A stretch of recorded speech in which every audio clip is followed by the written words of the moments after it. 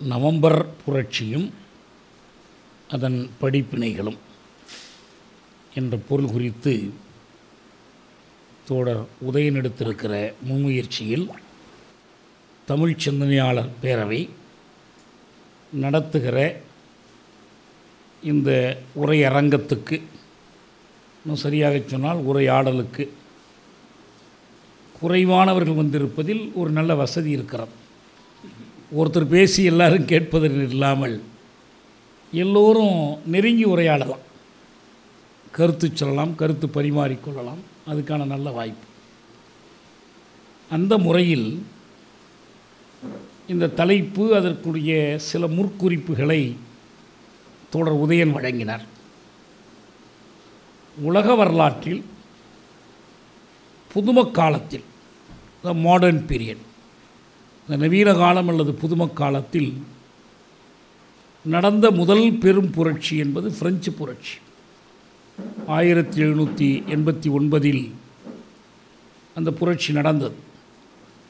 Voltaire Rousseau போன்றவர்களுடைய கருத்துக்களால் ஊக்கம் பெற்று மன்னராட்சி மதக்குருமார்களின் ஆட்சி போப்பாட்சி இதையெல்லாம் எதிர்த்து குடியாட்சியத்திற்காக அடிமை முறைக்கு எதிராக கிழாரியத்துக்கு எதிராக நடத்தப்பட்ட ஒரு பெரிய புரட்சி அது.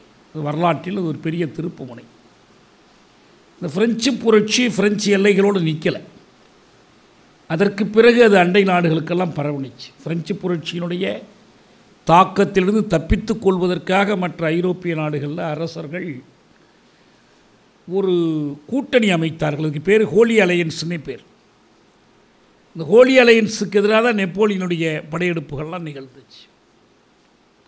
எந்த புரட்சியும் அது உண்மையிலேயே புரட்சியாக இருக்குமானால் அது ஒரு நாட்டின் எல்லைகளோடு குறுகி நிற்பது இல்லை அது விரிவடைந்து செல்லும்.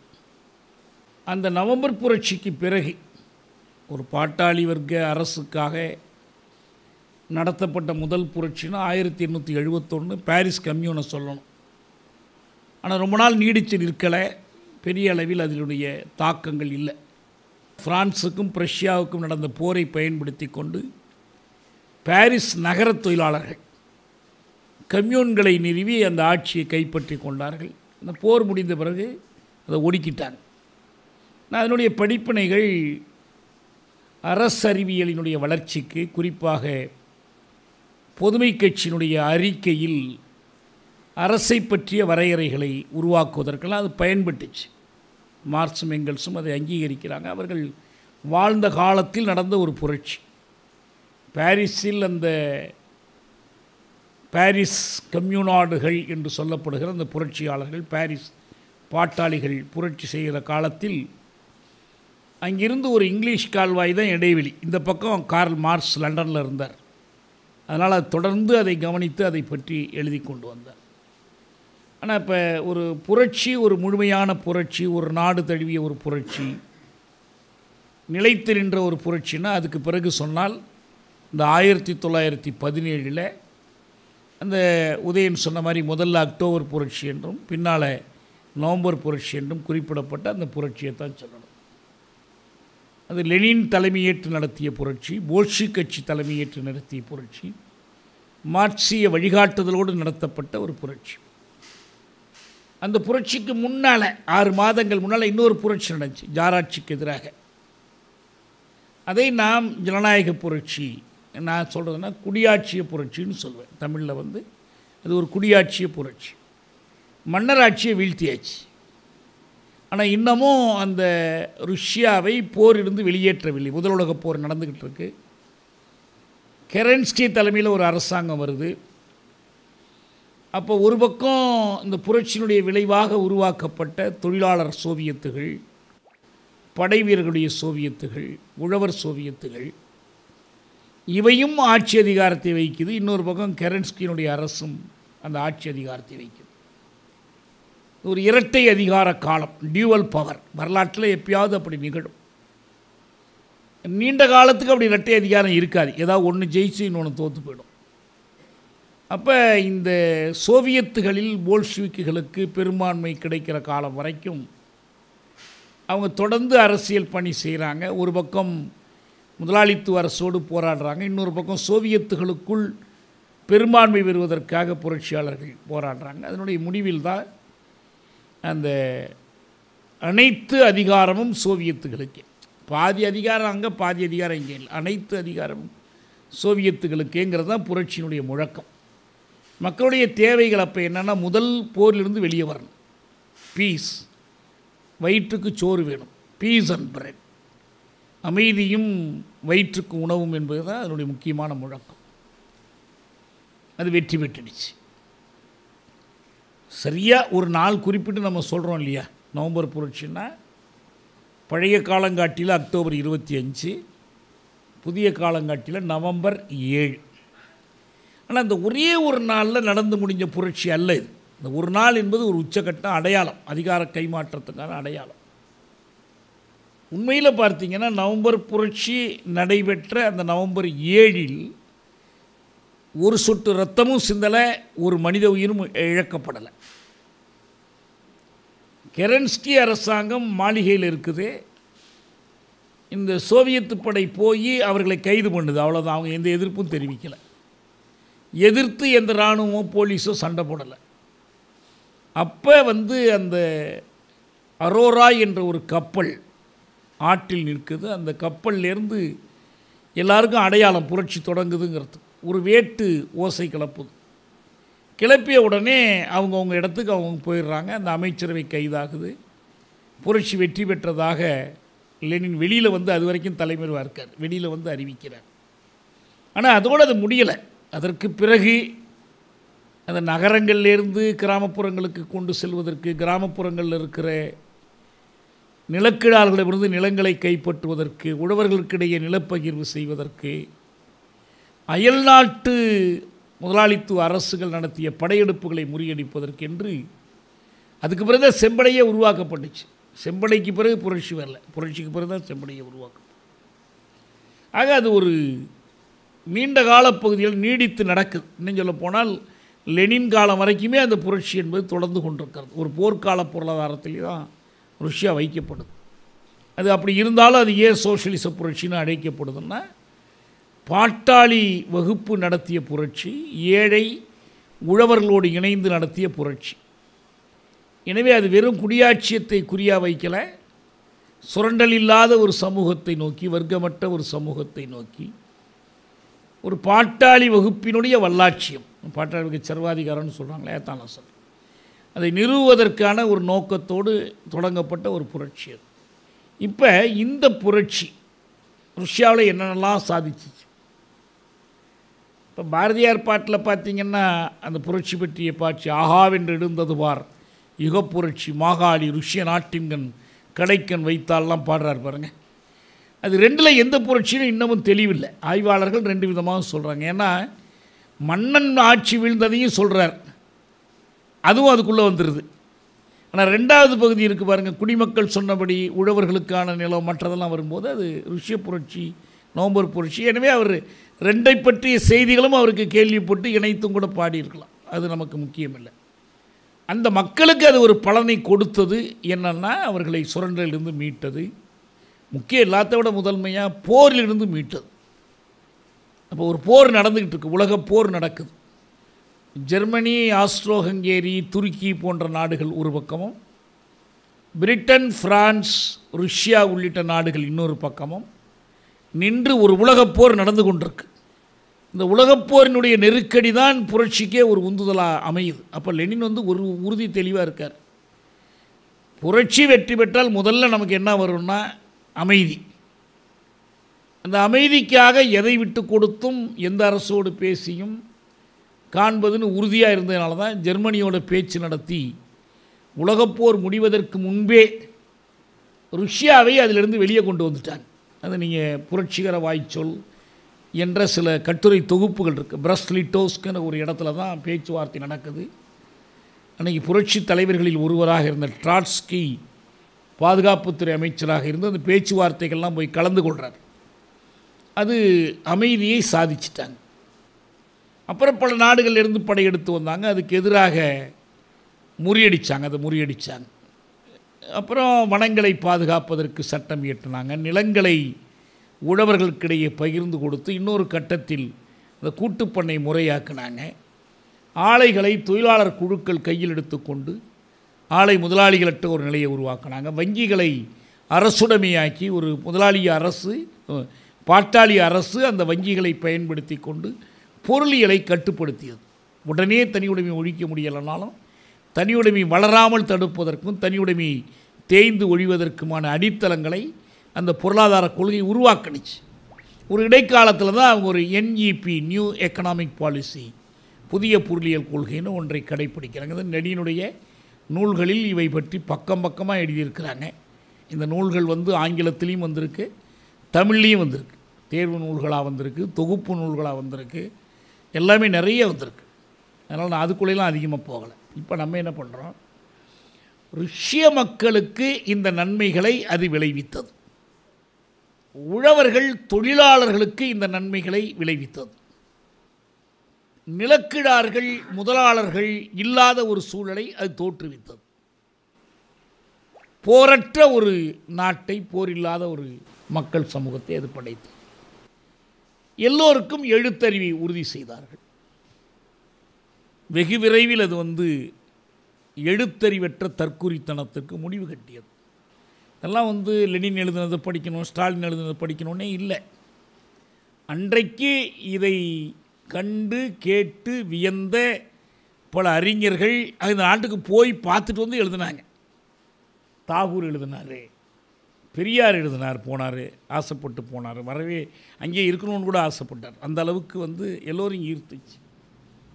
பிரிட்டனில் பெர்னாட் ஷா இருந்தார் அவர் அதை பற்றி எழுதினார். பல அறிஞர்கள் இதைக்கெல்லாம் சாட்சியாக இருக்கிறாங்க. ரைஸ் வில்லியம்ஸ் போன்ற அமெரிக்க எழுத்தாளர்கள் உலகை குலுக்கிய பத்து நாட்கள் என்று இந்த புரட்சியை நேரில் பார்த்து அதை பதிவு செய்திருக்கிறாங்க அதனால் இது அவங்க சொல்கிற ஒரு பரப்புரை என்று நம்ம எடுத்துக்க வேண்டியில்லை. எல்லா தரப்பினரும் ஏற்றுக்கொண்டிருக்கிற ஒரு உண்மை இது. அப்போ அடுத்து ஒரு பிரச்சனை வந்துச்சு. ஜாரிஸ்ட் ருஷ்யா என்பது ஜாராட்சியின் கீழமைந்த மன்னராட்சியின் கீழமைந்த ருஷ்ய பேரரசு என்பது. முதலாளிகள் நிழக்கிறார்கள் ஒரு பக்கம் பாட்டாளிகள் தொழிலாளர்கள் உழவர்கள் ஒரு பக்கம் என்று மட்டும் பிரிந்திருக்கவில்லை. இது மட்டும் பிரிந்திருந்துச்சுன்னா முடிஞ்சு போச்சு. சுரண்டலை ஒழிச்சிட்டாங்க முடிவு கட்டிட்டாங்க. இன்னொரு பிரிவு அங்கே இருந்துச்சு. என்ன? இந்த மக்கள் பல தேசிய இனங்களாக பிரிந்திருந்தார்கள். நாடு முழுவதற்கும் ஒரு பேர் ருஷ்யான்னு பேர். அதே ருஷ்யாங்கிறது அந்த ருஷ்யாவுக்குள் இருக்கிற ஒரு தேசிய இனத்தினுடைய பெயராகவும் இருந்துச்சு. அதுதான் ருஷ்ய பேரினம் மா ருஷ்யர்கள் என்று லெனின் சொல்வார். ருஷ்யாங்கிறது மொத்த நாட்டுக்குமான பேர் அதில் இருக்கிற ஒரு இனத்துக்கு மட்டும் ஒரு பேர் அதுவும் ருஷ்யான்னு இருந்துச்சு. இந்த ஜாராட்சியின் கீழ் பல தேசிய இனங்கள் அடிமைப்பட்டு கிடந்தாங்க. இப்போ இன்றைக்கி இருக்கிற உக்ரைன் இருக்குது பெலோரிஷியா இருக்குது. உஸ்பெகிஸ்தான் மாதிரியான பல அரசுகள் இருக்கிறாங்க. ஜார்ஜியா இருக்குது. இது எல்லாமே வந்து இந்த ருஷ்ய பேரரசுக்கு ஜாரின் பேரரசுக்கு அடங்கி கிடந்துச்சு.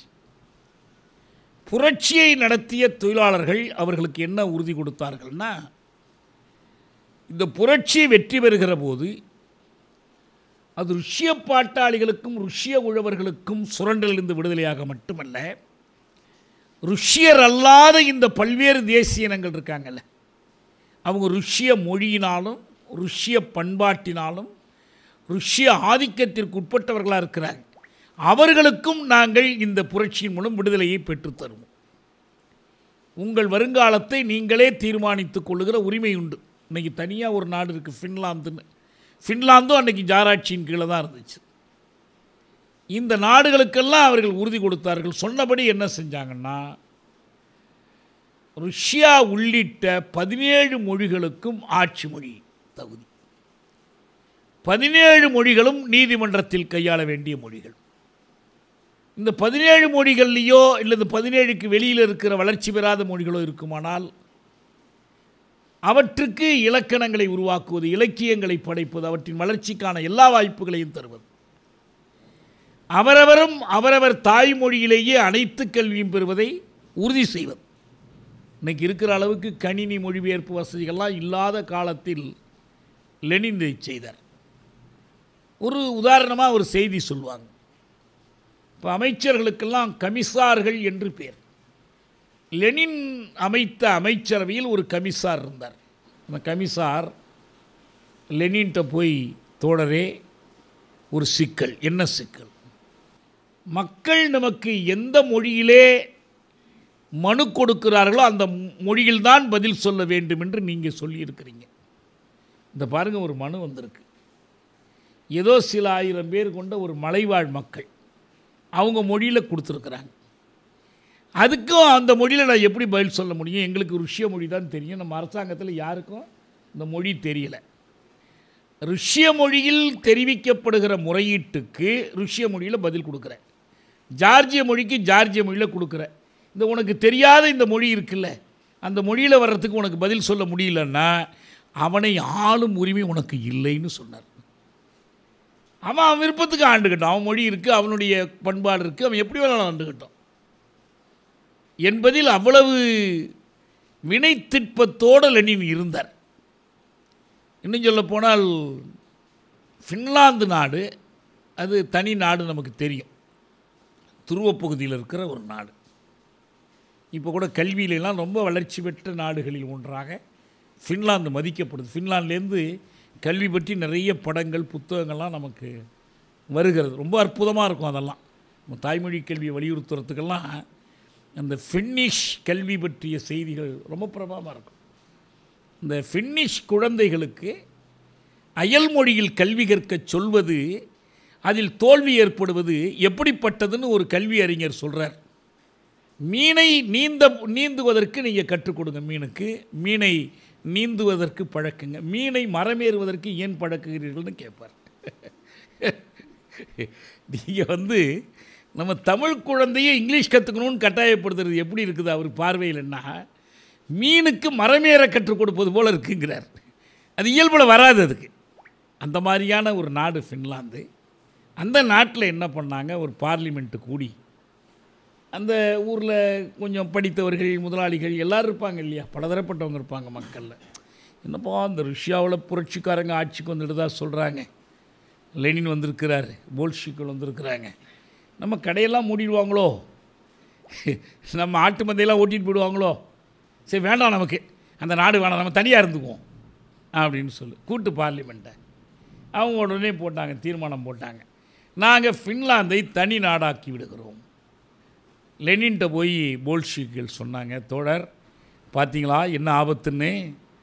சேனனிய உரிமை பிரிந்து போகிற உரிமை அவனவனே இறைமையை தீர்மானித்து கொள்ளட்டும் என்றெல்லாம் சொன்னீங்க. இந்த ஃபினிஷ் முதலாளி எல்லாம் சேர்ந்து நம்ம சோஷலிசத்தை கொண்டு வந்துடாமல் தடுக்கிறதுக்காக பார்லிமெண்ட்டில் தீர்மானம் போட்டு தனிநாடாகிறாங்கிறான் சொன்னார் சோஷலிசம் வேண்டாம்னா அதை அவன் முடிவு பண்ணட்டும். வேணும்னாலும் அவன் முடிவு பண்ணட்டும். நம்ம ஆள் அங்கே இல்லை. நம்ம போல்ஷிக் அங்கே இல்லை. அதனால் அவன் முடிவு பண்ணுறான் ஆனால் ஒருவரை சொர்க்கத்துக்கு அனுப்புவதானாலும் தடியால் அடித்து அனுப்பக்கூடாது. எனக்கு நரகம்தான் வேணும்னா போயிட்டு போகிறான் விட்டுரு. அவன் பார்த்து கற்றுக்கட்டும் சொர்க்கம்தான் வேணாம் சொர்க்கத்துக்கு போட்டோம் கட்டாயப்படுத்தி சோஷலிசத்தை குமுகியத்தை அவன் மீது நாம் திணிக்கக்கூடாது. அன்னைக்கு லெனின் தனிநாடாக போட்டுன்னு அனுமதித்தார். இன்றைக்கும் தனிநாடாக தான் இருக்குது அவங்க என்ன முடிவு பண்ணல வேற ஒரு முடிவு பண்ணல. அவ்வளவு தெளிவாக இந்த ஒடுக்கப்பட்ட தேசிய இனங்களுடைய உரிமை எந்த உரிமையை தங்களுடைய அடிப்படை கொள்கையாக ஆயிரத்தி தொள்ளாயிரத்தி மூணுலேருந்து முன்வைத்து போல்ஷிக்கள் போராடினார்களோ லெனினுடைய ரெண்டு முக்கியமான புத்தகங்கள் இருக்கு. தேசிய இனங்களின் தன்தீர் உரிமை குறித்து அதாவது சுயநிர்ணய உரிமை குறித்து. சோஷலிசமும் தேசிய இனங்களின் தன்தீர் உரிமை இன்னொரு புத்தகம் இருக்குது இது ரெண்டையுமே நீங்கள் படித்து பார்த்தீங்கன்னா அவர் சொல்லுவார் நீ என்ன அமைப்பாக இருந்தாலும் சரி நம்ம இங்கே தமிழ்நாட்டில் தேசிய இன சிக்கல் குறித்து மார்க்சிஸ்ட் கட்சி தலைவர்களோடு எனக்கு ஒரு பெரிய நீண்ட விவாதம் நடந்துச்சு. கடிதம் மேலே கடிதம் மாதிரி எழுதும் அவங்க ஒரு கட்டத்தில் என்ன சொன்னாங்கன்னா நியாயந்தான் நியாயம்தான் லெனின் சொல்கிறதெல்லாம் சுயநிர்ணய உரிமையெல்லாம் வேணும். அதெல்லாம் சோஷியலிச அமைப்பில் தான் வேணும். இந்த அமைப்பில் வேண்டான்னாங்க. அடியோடு தப்பு. எந்த அமைப்பில் ஒடுக்குமுறை இருக்கோ அங்கே தானே உரிமையை தேவைப்படும். அப்படி லெனின் சொல்லவே இல்லை. இவங்களா ஒரு அரைகுறையாக படித்து வச்சுக்கிட்டு அப்படி சொல்லிக்கிட்டு இருந்தாங்க. நம்ம அதுக்கு சரியான மாற்றுகளை சான்றுகளை எடுத்து கொடுத்தோம். அதனால் இந்த நவம்பர் புரட்சியினுடைய முதல் தாக்கம் சுரண்டல் ஒழிப்பு தொழிலாளர்கள் அரசு உழவர் அரசுனா ரெண்டாவது பெரிய தாக்கம் ஜாராட்சியின் கீழ் ஒடுக்குண்டிருந்த தேசிய இனங்களின் விடுதலை அடிமைத்தலை அகற்றல். நீங்கள் தனியாக போய் வேணாலும் இருந்துக்கலாம் இல்லை நாங்கள் புதுசாக உருவாக்குகிற இந்த ஒன்றியம் இருக்குது பாருங்க இந்த குமுகிய ஒன்றியம் அந்த ஒன்றியத்துக்குள்ளே நீங்கள் இருந்துக்கலாம். ஆனால் நீங்கள் உங்கள் எதிர்காலத்தை தீர்மானித்து கொள்ளலாம்.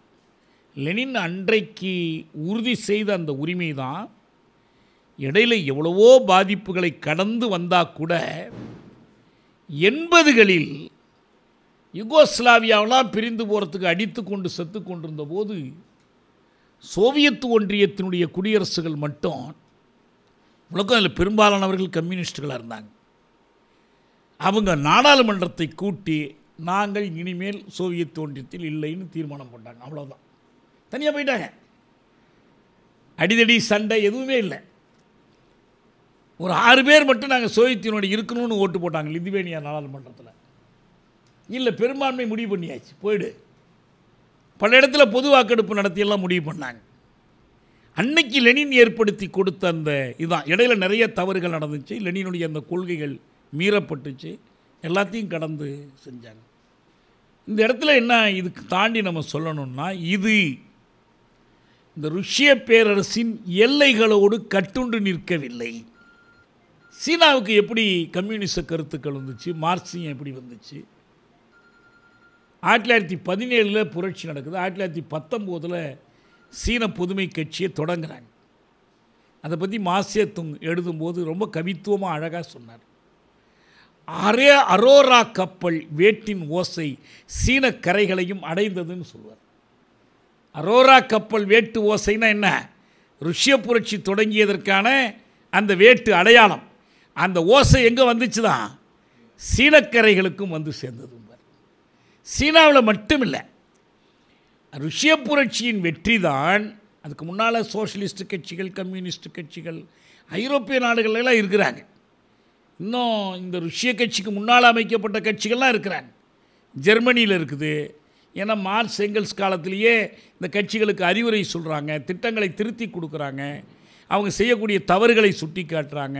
அப்பயே இருக்குது சோஷலிச கட்சிகள் பொதுமை கட்சிகள் பல நாடுகளில் இருக்குது ஆனால் இது எல்லாம் பெரும்பாலும் வந்து ஐரோப்பிய எல்லைக்குள்ளே இருந்துச்சு. ஆனால் இப்போ இந்த புரட்சியினுடைய வெற்றி இது ருஷ்யாவினுடைய ஒரு தனித்தன்மை இன்றைய வரைக்கும் கூட.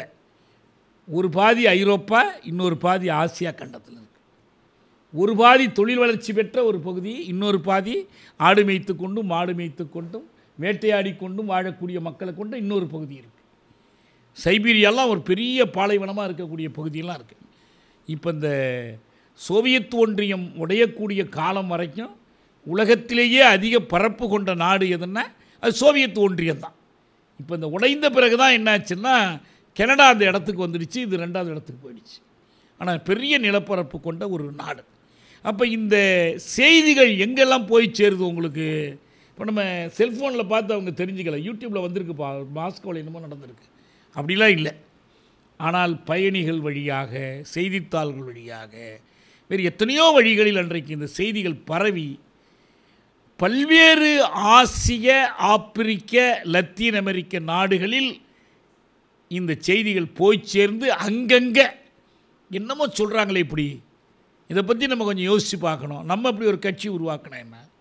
இந்தியாவுக்கு ஒரு செய்தி வந்துச்சு இப்படி வந்திருக்குது ருஷ்யாவில் நடந்திருக்கு. ஏன்னா ஆயிரத்தி தொள்ளாயிரத்தி ஆறாம் ஆண்டில் திலகரை கைது செய்கிறான் பிரித்தானிய அரசு. அவர் பத்திரிகையில் எழுதின கட்டுரைக்காக. இந்த செய்தி எப்படியோ லெனினுக்கு போய் சேருது. இந்தியாவில் ஒரு பெரிய தலைவராம் தேசிய தலைவராம் திலகராம் அவரை கைது பண்ணிட்டாங்க. அவருக்கு ஆறாண்டு சிறை தண்டனை கொடுத்து இன்றைக்கி இருக்கிற பர்மா அல்லது மியான்மரில் இருக்கிற மண்டலேங்கிற ஒரு சிறையில் கொண்டு அடைச்சிடுறாங்க. இந்த செய்தியை கேள்விப்பட்டு லெனின் அவருடைய பத்திரிகை கட்டுரையில் எழுதுகிறார் இது இந்த இந்த செய்தியை கேள்விப்பட்டு. இந்திய தொழிலாளர்களும் இப்போது வயதுக்கு வந்து விட்டார்கள்னு எழுதுகிறார் தே கம் ஆஃப் ஏஜுங்கிறார் ஏன்னா அவங்க வெறும் கூலிக்கு மட்டும் போகிறாள்ல சம்பள உயர்வுக்கு போகிறால அவங்க ஒரு அரசியல் கோரிக்கைக்கு. பிரித்தானிய அரசு செய்கிற அடக்குமுறை எதிர்த்து மும்பை தொழிலாளர்கள் வேலைநிறுத்தம் பண்ணிட்டாங்க. ரொம்ப சந்தோஷம் அவருக்கு பெரிய மகிழ்ச்சியோடு எழுதுகிறார் இப்போ செய்தி தொடர்பு அந்த மாதிரி இருக்குது இங்கே ஒரு எம்என் ராய்னு ஒருத்தர் இருக்கார். அவர் ரேடிக்கல் ஹியூமனிசம்னு ஒரு கருத்தை முன்வைத்து கொண்டு அவர் மார்க்சியம் எல்லாம் பௌத்தம் எல்லாமே அவர்கிட்ட இருந்த செய்திகள். கேள்விப்பட்ட உடனே இவர் புறப்பட்டு போகிறார் அங்கே. பல நாடுகளுடைய இது போன்ற கட்சிகள்லாம் மாநாடு கூட்டும் போது லெனினோட போய் படம்லாம் கூட இன்றைக்கி இருக்குது எமன் ராய் நின்று படம் எடுத்துக்கொள்கிறாரு அந்த தீர்மானத்தை இந்தியாவை பற்றி எழுதுகிற போது இவருடைய ஆலோசனைகள்லாம் கேட்குறாங்க அப்படி நிறைய நிகழ்வுகள் தொடர்பு ஏற்படுது. இந்த செய்திகள் வேற எங்கெங்கேயோ போய் சேர்ந்த மாதிரி பதினேழில் புரட்சி நடந்த செய்தி ஆயிரத்தி தொள்ளாயிரத்தி இருபதில் கல்கத்தாவினுடைய அலிகார் சிறைக்குள்ளே போய் சேர சேருது. நமக்கு தெரியும் இருபத்தி மூணில் பகத்சிங் வந்து லெனினுடைய புத்தகத்தை தான் தூக்கிலிட போகும்போது படிச்சுக்கிட்டு இருந்தாருன்னு இங்கே நம்ம சிங்கார வந்து சேருது. உலகமெங்கும் இந்த செய்திகள் பரவும். அப்போ இந்த நாடுகள் என்ன வேண்டி நின்று கொண்டிருக்கு? தொழிலாளர்கள் ஒரு பெரிய வகுப்பாக ஒரு பெரிய இயக்கமாக இன்னும் வளரலை. ஆனால் அவர்கள் அயலானுடைய ஆதிக்கத்துக்கு எதிராக போராட வேண்டிய ஒரு தேவையை உணர்ந்திருந்தாங்க. பிரித்தானிய ஆட்சி எடுத்து போராடணும். சீனாவில் ஜப்பானிய ஆக்கிரமிப்பு எடுத்து போராடணும். வியட்நாமில் ஃப்ரான்ஸை எடுத்து போராடணும். அல்ஜீரியாவில் ஃப்ரான்ஸை எடுத்து போராடணும். பல ஆப்பிரிக்க நாடுகளில் அது போல தான் இந்த வல்லரசுகளை எதிர்த்து போராட வேண்டிய ஒரு கட்டாயம். லத்தீன் அமெரிக்க நாடுகள்ங்கிறாங்க. அது உண்மையில் லட்டீனுக்கும் அதுக்கும் ஒன்றும் சம்மந்தமே இல்லை. தென் அமெரிக்க நாடுகள் மத்திய அமெரிக்க நாடுகளுக்கு சேர்த்து ஒரு பேர். அதான் லத்தீன் அமெரிக்க நாடுகள். அவங்க பேசுகிற மொழி ரெண்டு மொழி இருக்குது ஸ்பானிஷ் போர்ச்சுகீஸ். இப்போ கியூபாவில் வந்து ஸ்பானிஷ் பேசுகிறாங்க பிரேசிலில் போர்ச்சுகீஸ் பேசுகிறாங்க போர்ச்சுகீஸ் மொழி. இப்போ இந்த மொழிகள் வேறு எந்த மொழியிலேருந்தோ வந்துச்சுன்னு ஒரு கதை எல்லா இடத்துலையும் இருக்கும்ல. இப்போ நமக்கு கால்டுவேல் வர்ற காலம் வரைக்கும் தமிழ் சமஸ்கிருதத்திலிருந்து தான் பெற்றுக்கொண்டது அப்படி தான் வந்துச்சு.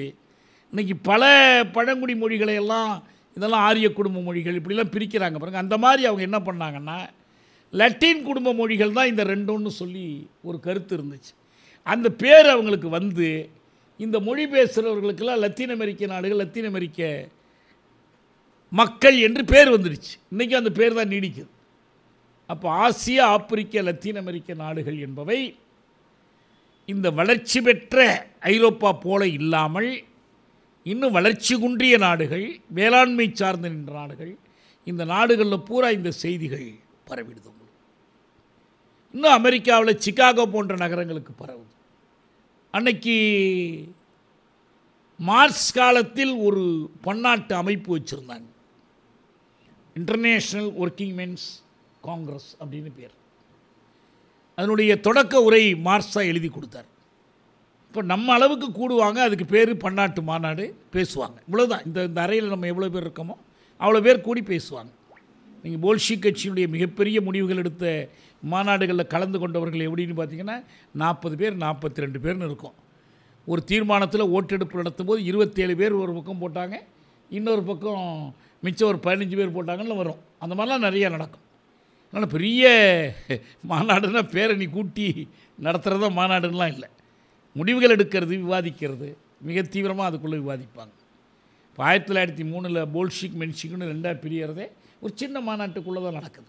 அப்போ அந்த மாதிரியான ஒரு நிலையில் இந்த செய்திகள் பரவும்போது ஏற்கனவே இந்த பிரித்தானிய வல்லரசுக்கு எதிராக விடுதலை பெற வேண்டும் என்ற அக்கறையோடு வேட்கையோடு அவரவருக்கு தெரிந்த வழிகளில் அவரவருக்கு தெரிந்த கருவிகளை கொண்டு போராடி கொண்டிருந்தார். இயேசு கிறிஸ்து பிறப்பதற்கு ஐநூறு வருஷத்துக்கு முன்னால் ரோமாபுரியினுடைய வெள்ளை அடிமைகளை திரட்டி ஸ்பார்டகஸ் ஆண்டைகளுக்கு எதிராக கழகம் புரிந்தானே. அவன் என்ன மார்க்சியத்தின் அடிப்படையில் கழகம் புரிந்தான்? அவனுக்கு எந்த கோ இந்த மாதிரி கொள்கையெல்லாம் ஒன்றும் இல்லை. விடுதலை வேட்கை இயற்கையான ஒன்று வேட்கை அது. மனிதனுக்கு மனிதன் அடிமை இல்லை. எனவே அடிமைகளை ஒன்று திரட்டுவோம். அன்னைக்கு ஜனநாயகம் இல்லை ஓட்டெடுப்பு இல்லை. பார்லிமெண்ட்டுக்கு போய் ஜெயிக்க முடியாது. எந்த உரிமையும் கிடையாது. எனவே என்ன பண்ணாமல் படை திரட்டினான். அதுக்கு வணிகர்கள் மூலமாக ஆயுதங்கள் திரட்டினான். நீங்கள் ஸ்பாட்டகஸ் படம் பார்த்துருந்தீங்கன்னா தெரியும் உங்களுக்கு. பெரிய ஒரு போர் நடந்து ஒரு குறிப்பிட்ட காலத்திற்கு ரோமாபுரியை ஆண்டைகள்டேர்ந்து கைப்பற்றி அவனுடைய ஆதிக்கத்தில் வைத்திருந்தான்.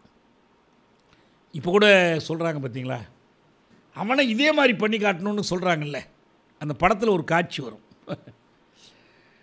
இந்த ஆண்டைகள் வந்து அடிமைகளை ஒருவரோடொரு மோத விட்டு சண்டை விட்டு அதில் ஒருத்தனை கொல்லணும் இன்னொருத்தன். அப்புறம் ஜெயித்தவனை அவன் கொண்டுடுவான் உயிரோடு விட்டாலும் விட்டுருவான். அது அவங்க அவன் கையில் இருக்குது கோமான்கள் கையில் இருக்கக்கூடிய முடிவு அது. அது மாதிரி ஒரு சண்டையெல்லாம் விடுவாங்க. ஸ்பார்டகஸ் ஒரு அவனோடு நண்பனாக அறைக்குள் இருந்த ஒரு அடிமையை வீழ்த்துவான். அவன் கருப்பான் அவனுடைய கழுத்தில் ஈட்டி வச்சிருப்பான் கொல்லச் சொல்லி மேலே இருந்து ஒரு சீமாட்டி உத்தரவு கொடுப்பாள். கீழே பார்ப்பான் மேலே பார்ப்பான். அந்த நேட்டி ஈட்டியை நேராக அவன் மேலே விட்டுருவான். அப்புறம் அவனை சிறைப்படுத்துகிறாங்க எல்லாம் நடக்குது. அப்புறம் அந்த விடுதலைக்கு பிறகு ஸ்பார்டகஸினுடைய தோழர்கள் சிலர் என்ன பண்ணுவாங்கன்னா இந்த சீமான்கள் இருக்கான்ல பிரபுமார்கள் கொழுத்து போயிருப்பான். அவனுக்கு உடற்பயிற்சி கிடையாது உழைப்பு கிடையாது. தொலை தொலைன்னு இருப்பான் இந்த இவங்க பயன்படுத்தக்கூடிய வாள்களை அவன் கையில் கொடுத்து ஏய் இங்கே வாங்க. ரெண்டு பேரும் சண்டை போடுங்கடா.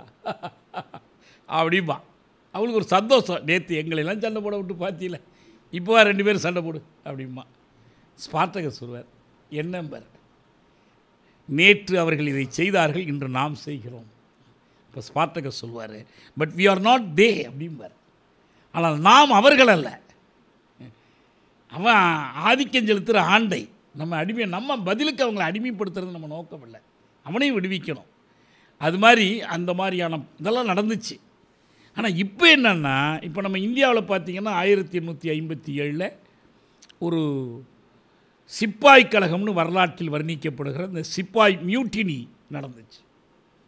அதில் இந்த இளவரசர்கள் வரி கொடுமையினால் பஞ்சத்தால் வறட்சியால் பாதிப்புற்ற ஏழை உழவர்கள் அந்த உழவர்களுடைய சீருடையணிந்த வடிவமாகிய பிரித்தானிய சிப்பாய்கள் எல்லாம் சேர்ந்து அந்த போராட்டத்தை நடத்தினாங்க.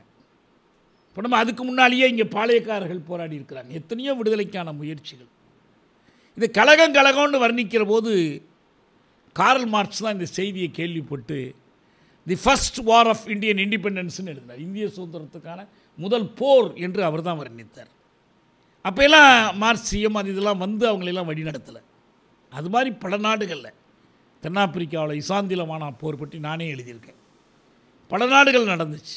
அப்போ இப்போ வந்து இந்த விடுதலைக்கான ஒரு லட்சியத்துக்கு மீதான நம்பிக்கை அந்த பற்றுறுதி இப்போ ருஷ்யாவில் அடிமைப்பட்டு கிடந்த தேசங்கள் விடுதலை பெற்றிருக்கிறாங்க.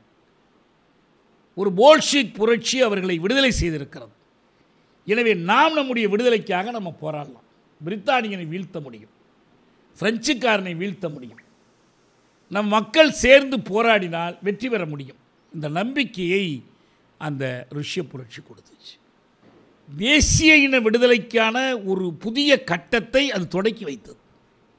அதுக்கு முன்னால் இங்கும் அங்குமாக அரைகுறையாக சிதைந்த நிலையில் நடந்த போராட்டங்களுக்கு பதிலாக இப்போது தேசிய இயக்கங்கள் உருவாகி தேசிய விடுதலைக்கான போராட்டத்தை முன்னெடுக்கிற காலம் வந்துடுச்சு. அப்போ லெனின் தலைமையில் இருக்கிற அந்த பொதுமை கட்சி அந்த புரட்சி நடத்துகிற காலத்தில் ஜெர்மனி போன்ற வேறு சில நாடுகளில் ஒரு சில கட்சிகள் குழுக்கள் மட்டும்தான் அதை ஆதரித்தார்கள் அங்கீகரித்தார்கள். ஆனால் இப்போ இந்த புரட்சியினுடைய வெற்றிக்கு பிறகு ஆ லெனின் சொல்கிறது தான்ப்பா கரெக்ட் முதல் அகிலம் நான் சொன்ன மார்ஸ் காலத்தில் நடந்துச்சு. பிறகு இரண்டாவது அகிலம் எங்கல்ஸ் காலத்தில் நடந்துச்சு. இப்போ நம்ம கொண்டாடுகிற மே நாள்லாம் வந்து அந்த அகிலத்தில் எடுக்கப்பட்ட முடிவு தான் இந்த அகிலங்கிறது கூட அந்த வார்த்தை சரியான வார்த்தை அல்ல.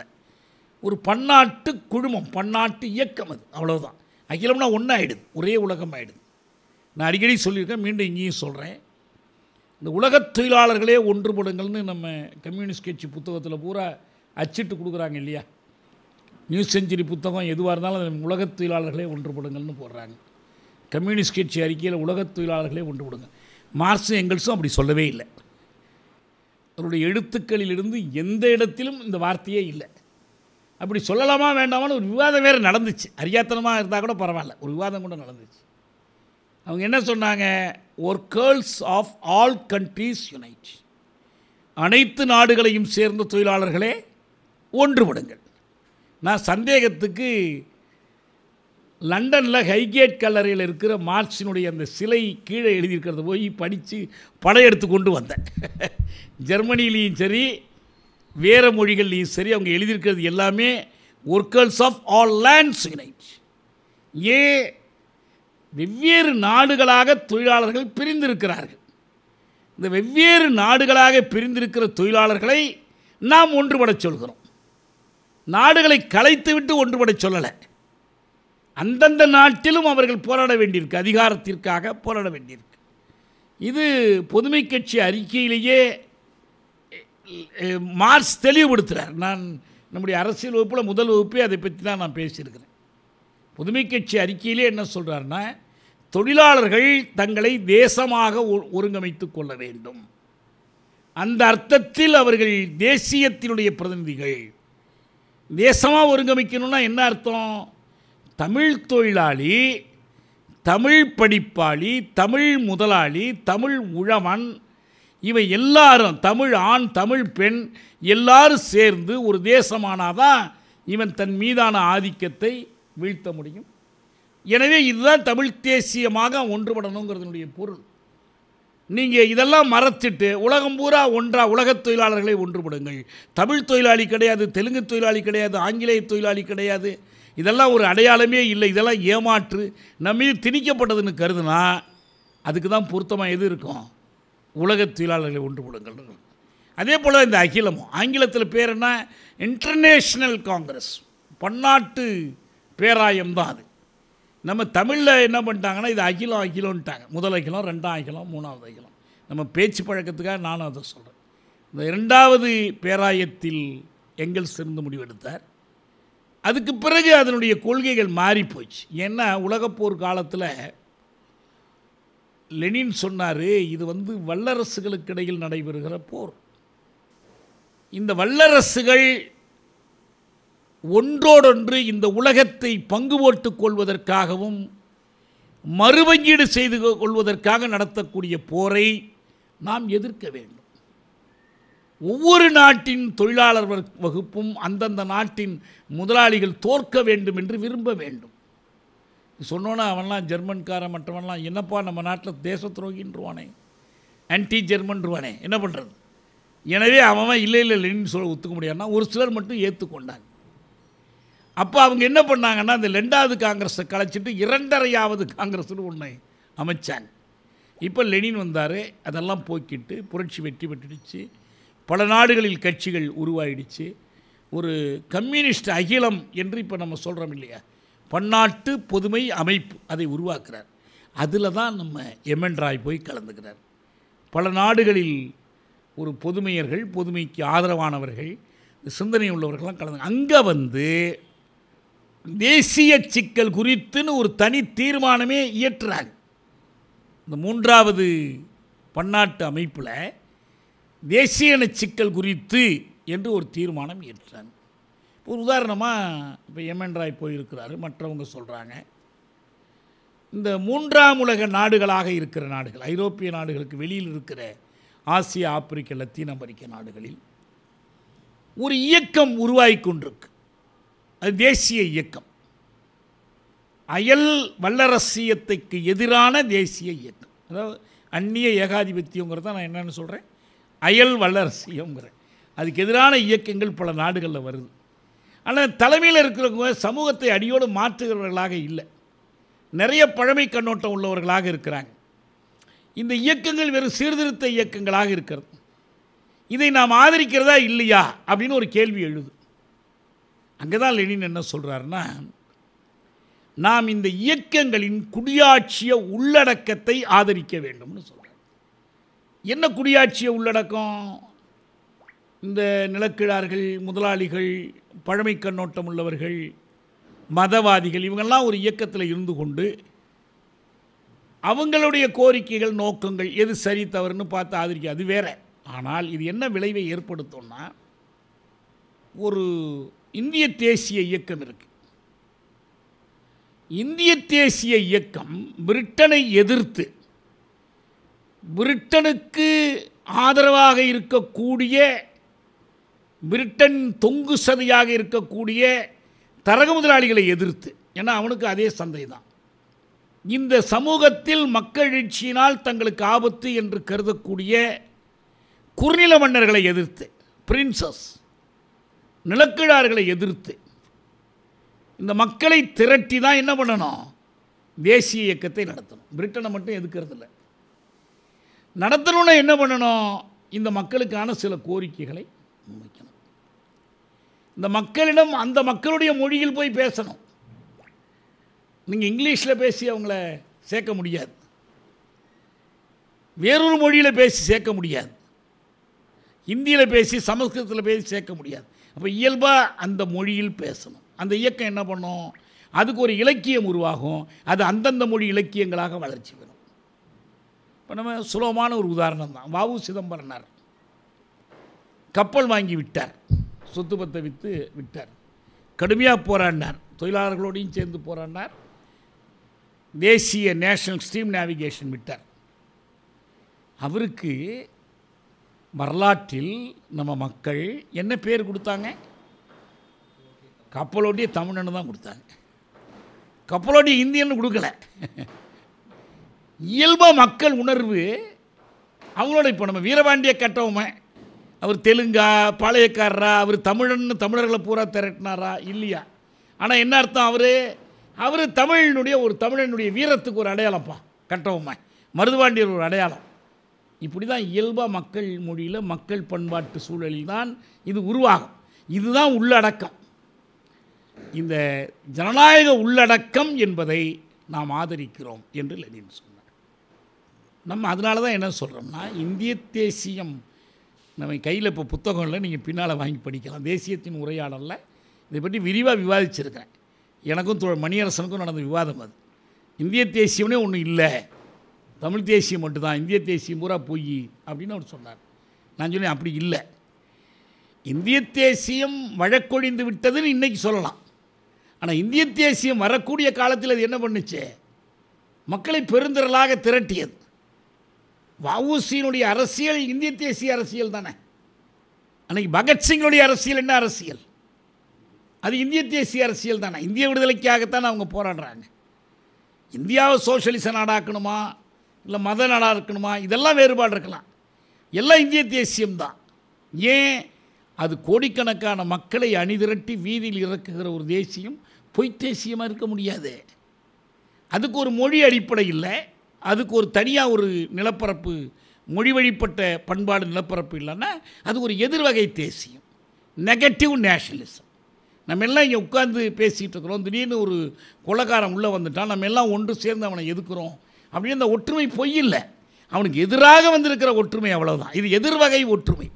இல்லை நம்ம எல்லாம் சேர்ந்து போய் ஒரு சாகுபடி பண்ணி எடுத்துகிட்டு வருவோம்னு போனோம்னா அது நேர்வகை ஒற்றுமை. பாசிட்டிவாக ஒன்றுபடுறது வேறு நெகட்டிவாக ஒன்றுபடுறது அப்போ இந்த பின்னணியில் இந்த பல்வேறு நாடுகளில் இந்தியா உள்ளிட்ட நாடுகளில் தேசிய விடுதலை இயக்கங்களுடைய வளர்ச்சிக்கு அது காந்தி போன்றவருடைய தலைமையிலான ஒரு சந் தேசிய சீர்திருத்தவாத இயக்கங்களாக இருந்தாலும் சரி ரொம்ப புரட்சிகர இயக்கங்களாக இருந்தாலும் சரி இதெல்லாம் உருவாவதற்கு நவம்பர் புரட்சி கலங்கரை விளக்கமாக திகழ்ந்தது.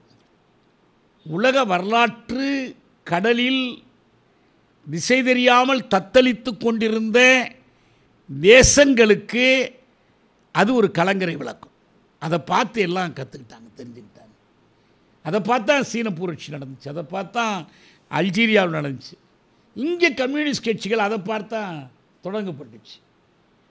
அது அலிகார் சிறையில் தொடங்கினாலும் தாஷ்கனில் தொடங்கினாலும் கான்பூரில் இவர் நம்ம சிங்காரவேலை தொடங்கி எதுவாக இருந்தாலும் சரி எல்லாத்துக்கும் ஒரு விஷய புரட்சி தான் அடிப்படையாக இருந்துச்சு. அதுக்கும் மேலே நம்ம ஆயிரத்தி தொள்ளாயிரத்தி இருபத்தஞ்சி சுயமரியாதை இயக்கம் போன்ற மக்களிடம் ஏற்றத்தாழ்வுகளுக்கு எதிராக சாதியத்துக்கு எதிராக போராடுகிற இயக்கங்கள்லாம் எங்கிருந்து ஊக்கம் பெறுறாங்க? ருஷ்ய புரட்சியிலேருந்து ஊக்கம் பெறுறாங்க நம்ம தமிழ்நாட்டில் சுயமரியாதை இயக்கமாக இருந்தாலும் அல்லது பஞ்சாபில் அக்கல் கல்சாவாக இருந்தாலும் இன்னும் நிறைய இயக்கங்கள். வங்காளத்தில் இப்போ நம்ம சோஷலிச குடியரசு இயக்கம்னு சந்திரசேகர ஆசாத் தொடங்குறாரு. எத்தனையோ இயக்கங்கள் குழுக்கள் எல்லாம் வர்றாங்க உங்களுக்கு. தேசிய இயக்கங்களுக்குள்ளே ஒரு முரண்பாடு இருக்குது ஒரு பிற்போக்காக நான் தூக்கில் போனாலும் கையில் பகவத்கீதையை வச்சுக்கிட்டு போவேன்னு சொன்னவனும் இருக்கான். அதே நேரத்தில் நான் புரட்சி வாழ்கன்னு முழக்கம் போட்டுட்டு தூக்கில் போனோன்னு இருக்கான். ஆனால் எல்லாமே இந்திய தேசியத்துக்குள்ளே வர்றாங்க. இது எல்லாருக்கும் அவங்களுக்கு ஊக்கம் கொடுக்கும். இதில் நான் ஒரு செய்தியை மட்டும்தான் பொது உடைமை கட்சி இதை எப்படி புரிந்து கொண்டது எப்படி எடுத்துக்கொண்டது இப்போ நான் லெனின் பற்றி இவ்வளவும் சொன்னேன். ஆனால் மார்க்ஸ் காலத்திலையும் சரி. நான் லெனினை மட்டும் இல்லை மார்க்ஸ் காலத்திலும் சரி. லெனின் காலத்திலும் சரி. இந்தியாவை பல தேசங்களை கொண்ட ஒரு கண்டமாக அல்லது துணை கண்டமாக பார்க்கிற தத்துவ பார்வை இல்லை.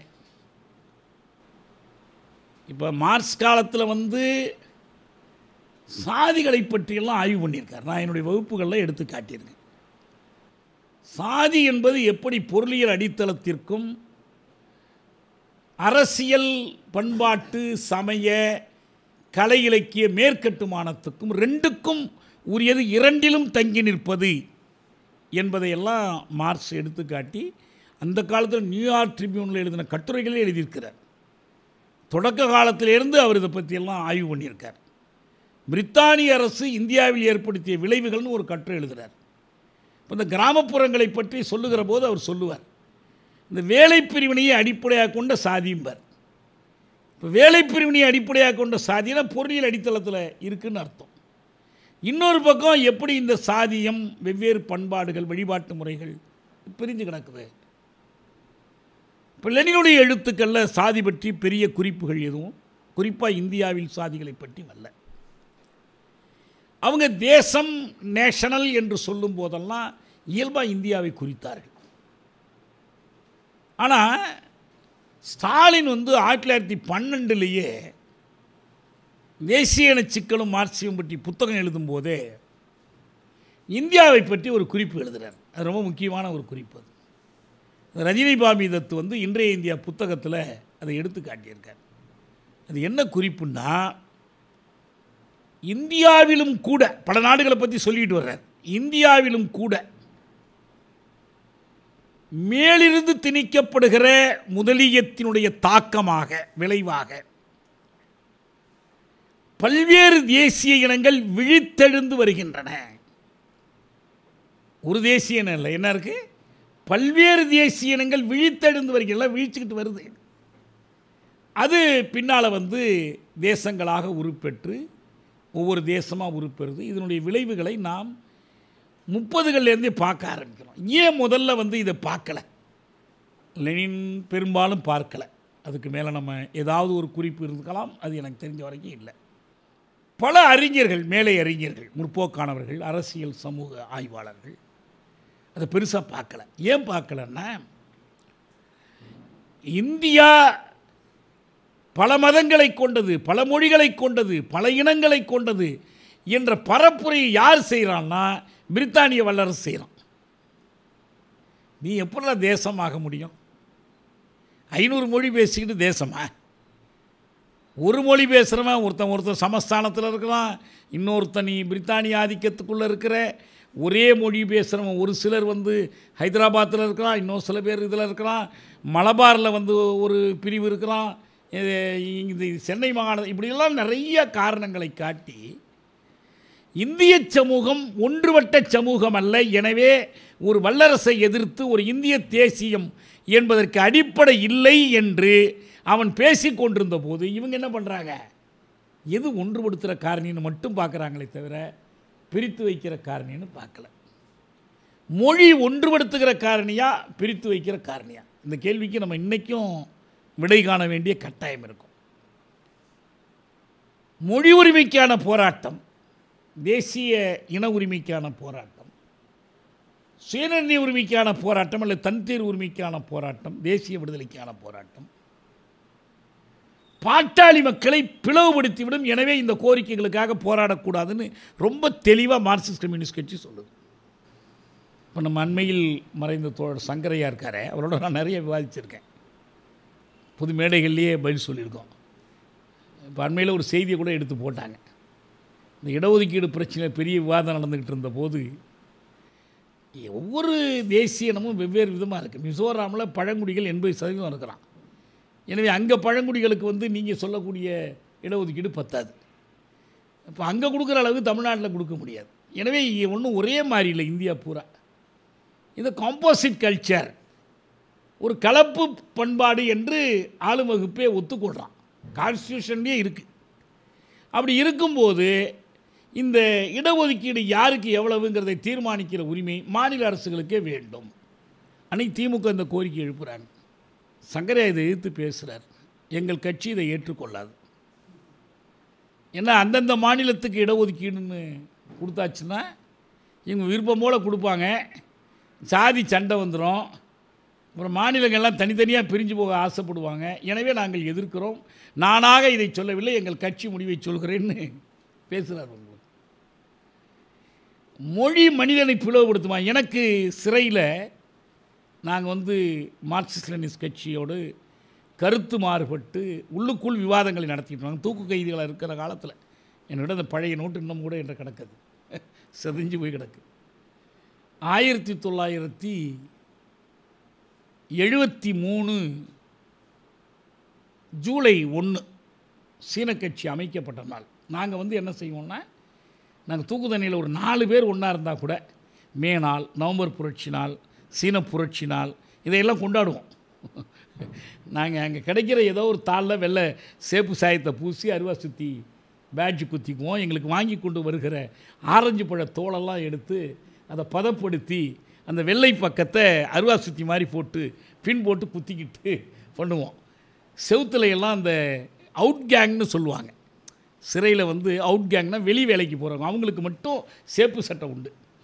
நாங்கள் இந்த பீடி பற்ற வைக்கிறதுக்கு நெருப்பு திரி போடுறான் பாருங்கள் அந்த சேப்பு துணியை பார்த்து கொண்டு அந்த சேப்பு துணியை வச்சு நாங்கள் சேப்பு கொடியே கட்டிடுவோம் மரத்தில்.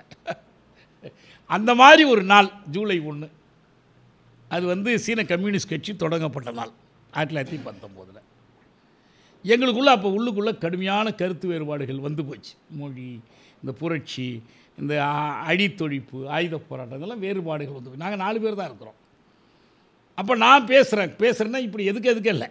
கொட்டடிக்குள்ளே இருந்தபடி ஓங்கி பேசுவோம். பக்கத்து கொட்டடிக்கு அது கேட்கும். ஆறு மணிக்கு பூட்டிட்டு போயிடுவோம். நாங்கள் அதுக்கு பிறகு கூட்டம் நடத்துவோம். அப்போ பேசும்போது நான் சொல்கிறேன் இந்த சீனத்தின் பாதை எமது பாதை சீனத்தின் தலைவரே எமது தலைவர் என்று சாரும மசும்தார் கொடுத்த முழக்கம் தவறானது. என்று அதை கண்டித்து நான் பேசுகிறேன் ஏன்னா அது கொஞ்ச நாள் முன்னால் தான் அவர் கைதாக இருக்கிறார் வேறு. அதை நான் எதிர்த்து பேசுகிறேன் அப்படி பேசும்போது சொல்கிறேன் சீனத்துக்கும் நமக்கும் நிறைய வேறுபாடுகள் இருக்குது இப்போ அங்கே அவங்களுக்கு ஒரு பார்லிமெண்ட் கிடையாது அங்கே ஒரு எலெக்ஷன் கிடையாது. அங்கே இது போன்ற ஜனநாயக உரிமைகள் இல்லை அமைப்பு சேர்ற உரிமைகள் இல்லை. இன்னும் சொல்ல போனால் அங்கு படை தான் கட்சியை அமைத்து தொடங்கும் போதே ஒரு படையோடு தான் தொடங்குறாங்க. கோமிங் டாங்லேருந்து பிரிஞ்சு ஒரு படை. அந்த படை தான் கட்சியவே அமைச்சுக்கிட்டு போகுது. இந்த மாதிரி வேறுபாடெல்லாம் நான் சொல்கிறேன் அவங்க தொழிற்சங்க உரிமை இல்லை இங்கே தொழிற்சங்க உரிமை இருக்குது அப்படி சொல்லும்போது நான் என்ன சொல்கிறேன் இன்னொரு முக்கியமான வேறுபாடு தோழர்களே சீனத்தில் தொண்ணூறு விழுக்காட்டுக்கு மேற்பட்ட மக்கள் ஹான் இன மக்கள். அவங்க ஒரே மொழியாகிய சீன மொழியை பேசுகிற மக்கள். ஏன்னா நீண்ட பயணம் நடத்த முடியுமா முடியாதான்னு ஒரு விவாதம். லாங் மார்ச் அங்கே நடந்துச்சு இல்லையா? அது மாதிரி நம்ம நடத்த முடியுமா? இல்லையா? அப்படின்னு ஒரு விவாதம். நாங்கள் நடத்த முடியுங்கிறார் சாருமு சுந்தர். எப்படி நடத்துவீங்க? ஸ்ரீகாகுளத்திலேருந்து தொடங்கி அப்படியே மத்திய பிரதேசம் பீகார் வங்காளத்துக்குள் நுழைஞ்சு பீர்பூம் வரைக்கும் நாங்கள் நடத்துவோங்கிறார் நான் சொல்லி முடியவே முடியாது. ஏன்னா ஸ்ரீகாகுளத்திலேருந்து புறப்பட்டு வர்ற விழவன் வந்து தெலுங்கு பேசுகிறவன் நீங்கள் வரங்கள் தாண்டின உடனே என்ன வந்துடும் உங்களுக்கு ஹிந்தி தெரிஞ்சிருக்கணும் அல்ல வேறு மொழி தெரிஞ்சிருக்கணும். பீர்பூமுக்கு ஒன்றா வங்காளி தெரிஞ்சிருக்கணும். மொழிபெயர்ப்பாளர்களை எல்லாம் அழைத்து கொண்டு போய் புரட்சி செய்ய முடியாது.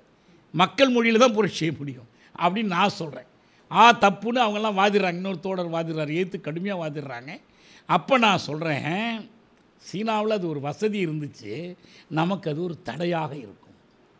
இந்திய புரட்சிக்கு மொழி தடையாக இருக்கும். நான் பேசின பேச்சு தான் அது. அப்புறம் இதுக்குள்ளே நுழைந்து ஆய்வு செய்யும்போது தான் எனக்கு என்ன புரியுதுன்னா லெனின் வந்து மொழிகள் குறித்து சொல்லியிருக்கிறது. அவருடைய நான் அந்த என்னுடைய அந்த தேசியத்தின் உரையாடலில் அந்த முழு மேற்கோள் கொடுத்துருக்குறேன்.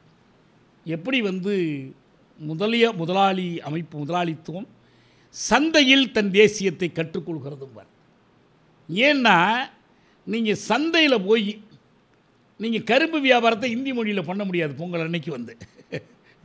தமிழில் தான் விலை பேசி ஆகணும் தமிழில் தான் கொடுத்தாகணும். அதே போல் தொழிலாளி கூலியை விற்கிறவனும் அந்த தொழிலாளி உழைப்பாற்றலை விற்கிறவனும் அந்த உழைப்பாற்றலை வாங்குகிற முதலாளிக்கும் இடையில் என்ன வேணும்? பொது மொழி வேண்டும். உங்கள் சந்தையை விரிவுபடுத்துவதற்கு வேண்டும். நீங்கள் பருத்தி வாங்கிட்டு வந்து தொழிற்சாலை கொண்டு வர்றதுக்கு பருத்தி விவசாயியோட பேசுகிறதுக்கு தமிழ் வேண்டும். உங்கள் செய்தியை விளம்பரப்படுத்துறதுக்கு அந்த மொழி வேண்டும். இதான் சந்தையில் தேசியத்தை கற்றுக்கொள்வது. இதிலிருந்து அவனே தோற்றுவிக்கிறானல்ல அந்த தேசியம் எல்லாருக்கும் தேவைப்படுது. தொழிலாளிக்கு தேவைப்படுது முதலாளிக்கு தேவைப்படுது. உழவனுக்கு தேவைப்படுது நுகர்வாளருக்கு தேவைப்படுது அந்த பயனீட்டாளர் எல்லாருக்கும் தேவைப்படுது. இதெல்லாம் சொல்லிட்டு சொல்வார் முதலாளித்துவத்தின் பொது விதி ஒரு மொழிக்கு ஒரு தேசம். லெனின் சொன்னது இது. ஒரு தேசத்தை ஒன்றுபடுத்துவது எது? மொழி. நீங்கள் ஒரு தேசத்தை ஒன்றுபடுத்துகிற மொழியை புறக்கணித்து விட்டு எல்லா தேசங்களையும் ஒன்றுபடுத்துவேன் என்று சொல்வது மக்களை ஒன்றுபடுத்துவதல்ல. மொழிபெயர்ப்பாளர்களை தான் ஒன்றுபடுத்த முடியும். இது இன்னும் இன்னொரு ஆபத்தையும் கொடுக்கும். இது ஒரு சுயான செய்தி அதனால் இதையும் நான் சொல்கிறேன் இந்த கம்யூனிஸ்ட் கட்சி காங்கிரஸ் கட்சி இந்த கட்சிகள் எல்லாம் ஒரு அகில இந்திய கட்சி வச்சுருக்கிறாங்க. ஆல் இண்டியா பார்ட்டியில் தலைமை ஒர்க்கிங் கமிட்டி நேஷ்னல் கவுன்சில் எல்லாம் வச்சுருக்காங்க. நம்ம தமிழ்நாட்டில் சிபிஎம்மில் ராமராஜன் ஒரு பெரிய தலைவர் இருந்தார். நீங்களாம் பார்த்துருக்கலாம் கேள்விப்பட்டிருக்கலாம். அந்த உழவர் அமைப்பில் வேலை செய்வார். தொண்டால் பொழுதளந்த ஒரு தூய தலைவர் அவர். அவர் ரொம்ப நாளாக இந்த மாநில குழு இருந்தார். ஒரு மாநாட்டில் என்ன பண்ணாங்க அவரை மத்திய கமிட்டிக்கு தேர்ந்தெடுத்தாங்க. நான் ரொம்ப சந்தோஷமாக வாழ்த்தினேன். ஏன்னா அவருக்கு வேறு குடும்பம் எதுவும் கிடையாது. கட்சியல் உலகத்தில் இந்த மாடிப்படிக்கு கீழே ஒரு கட்டில் போட்டு படுத்து கிடப்பார். அவ்வளோதான் வயசில் எண்பதுக்கு மேலே. போயிட்டு வந்த பிறகு தோழர் எப்படி? இருந்துச்சு டெல்லி எப்படி இருந்துச்சு மத்திய கமிட்டி ஏன் கேட்குறீங்க ஒன்றும் விளங்கலை. நான் வந்துட்டேன். விலகி ராஜினாமா கொடுத்துட்டு வந்துட்டேன்னாரு. ஏன்னு? அவன் பூரா ஹிந்திலையும் இங்கிலீஷ்லேயும் பேசுகிறேன் நான் என்ன பண்ணுறது அப்படின்னார். ஏபிஏ கடைசியாக என்னை சந்திக்கிற காலத்தில் சொல்கிறாரு என்ன தியாகு? அவங்க பூரா ஹிந்தியில் பேசுகிறாங்க நமக்கு ஹிந்தி வரமாட்டேங்குது. இங்கிலீஷில் தான் பேச வேண்டியது என்ன? இது வெறும் மொழி சிக்கல் அல்ல. இது மொழிபெயர்ப்பாளரை வச்சு சமாளிக்கிற சிக்கல் இல்லை. தமிழ் சமூகத்தில் கல்வி ஒரு சிலருக்கு முற்றுரிமையாக இருக்கிற ஒரு சமூகத்தில் ஆங்கிலத்தில் சரளமாக பேசுகிற வாய்ப்பு யாருக்கு வரும்? இயல்பாகவே உயர் சாதியினருக்கு தான் வரும். நீங்கள் கீழே போக போக என்னாகும்? இப்போ நம்ம நீட் தேர்வு கணக்கு எடுத்தாங்க. கிராமப்புற மாணவன் நகரப்புற மாணவன். தமிழ் வழி மாணவன் ஆங்கில வழி மாணவன். ஒவ்வொன்றுலையும் என்ன தெரிஞ்சிச்சுன்னா எவ்வளவு சமூகத்தில் கீழ்த்தட்டோ அவ்வளவுக்கு அவன் தாய்மொழியை நம்பி இருக்கிறான் எவ்வளவுக்கு மேலே போகிறானோ அவ்வளவுக்கு அயல்மொழி அவனுக்கு. சரளமாக அப்போ இது என்ன ஆகும்னா கட்சியினுடைய தலைமையினுடைய வகுப்பு இயைபு யார் என்ன வர்க்கம் யார் போக முடியும் அங்கே உங்களுக்கு மேலிடத்துக்கு? இந்த சாதாரண தொழிலாளி உழவனுடைய போராட்டங்களில் அனுபவப்பட்டு அவர் போய் அங்கே உட்காந்து பேச முடியாது. அவர் இங்கே நீங்கள் சொல்கிறத கேட்டு செயல்படலாம் அவ்வளோதான் இயல்பாகவே அது என்ன செய்யணும்னா இப்போ கேட்குறாங்கல்ல ஏன் தலித் தலைவராக்க முடியல? ஏன் ஆக்க முடியலன்னா இந்த குறை கலையணுங்கிறது வேறு. என்னன்னா அகில இந்தியம் என்று சொல்லிட்டாலே அதில் பாட்டாளி வர்க்க தலைமை தலித்து தலைமை உழைக்கும் மக்கள் தலைமை என்பது இயல்பாகவே முடியாது. தேசிய நிச்சுக்கள் ஒரு முக்கியமான கூறு. அப்போ அந்த மாதிரி நடந்தபோது அவங்க மொழி என்பது மக்களை ஒன்றுபடுத்துகிறது. சீன மொழி சீன மக்களை ஒன்றுபடுத்தியது. ருஷ்ய மொழி ருஷ்ய மக்களை ஒன்றுபடுத்தியது. அப்போ தமிழ் மொழி தானே தமிழர்களை ஒன்றுபடுத்தும்? ஏதோ ஒரு தொழிற்சங்க இயக்கம் முக்கியமான ஊழியர்கள்ட்ட நடத்தலாம். நம்ம தமிழ்நாட்டில் ஒரு சென்னையில் ஒரு தொழிற்சங்க தலைவர் இருந்தார். எஸ்சிசி அந்தோணி பிள்ளைன்னு கேள்விப்பட்டிருக்கீங்களான்னு தெரில எனக்கு. நாங்கள் வந்து தேசியமான ஒரு தமிழ் வளர்ச்சி குழுன்னு வச்சுருந்து தமிழ் வழி கல்விக்காக பேசுகிறதுக்கு அவரை கூட்டிகிட்டு வருவோம். காமராஜர்லாம் வர்ற கூட்டமாச்சேன்னு அவரும் வந்துடுவார் ஆனால் அவருக்கு தமிழ் பேச தெரியாது. இங்கிலீஷில் தான் பேசுவார். சரி அவர் அப்படி இருக்கலாம். மோகன்குமார் அவங்களத்தை கூட்டிகிட்டு வந்தோம். தமிழ் வழி கேள்விக்காக மாநாடு நடத்துகிறோம் I'm going to speak for Tamil in இங்கிலீஷ்னு ஆரம்பித்தார் தமிழுக்காக பேசுகிறான் நான் இங்கிலீஷில் பேசுகிறேன் இது எப்படி மக்களை திரட்ட பயன்படும்?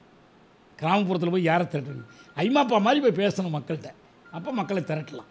இப்போ இயல்பாகவே இந்த மொழி மக்களை ஒன்றுபடுத்துவது அது பிளவுபடுத்துவது அல்ல.